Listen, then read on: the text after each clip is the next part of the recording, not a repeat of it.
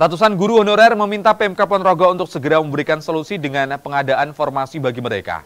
Di mana mereka tidak kebagian jatah formasi meski hasil nilai masuk passing grade pada P3K Jilid 1 dan 2 tahun 2021. Ratusan guru honorer di Kabupaten Ponorogo menggelar istigosah di Masjid Agung Ponorogo.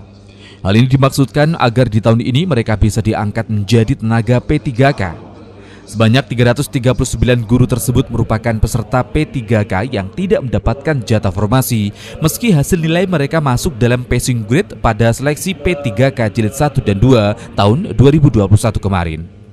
Dengan belum adanya kejelasan membuat mereka meminta pemerintah untuk memprioritaskan mereka masuk dalam P3K di tahun 2022 ini sesuai dengan amanat peraturan Menpan nomor 20 tahun 2022 tujuan utama kita adalah memohon dan berdoa supaya daerah kita Kabupaten Ponorogo ini menyediakan formasi memprioritaskan kita sesuai isi dari Permenpan RB nomor 20 tahun 2022 yang di mana di isi surat atau permenpan tersebut menjelaskan kita yang sudah lolos tes ini menjadi prioritas pertama mendapatkan formasi.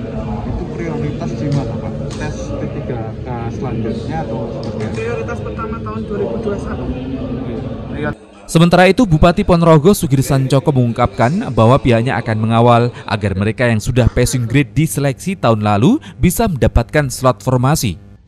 Kami kan selalu mengawal agar kemudian yang sudah masuk ke dalam passing grade itu mendapatkan slot. Tapi sesungguhnya dari awal slot kita itu kan dulu kan 2.400 sekian PP, P3K baik guru maupun non guru. Saya meyakini teman-teman berdoa ini uh, ada ada slot lah untuk mereka ada formasi lah dan kita mendorong memang harus ada formasi.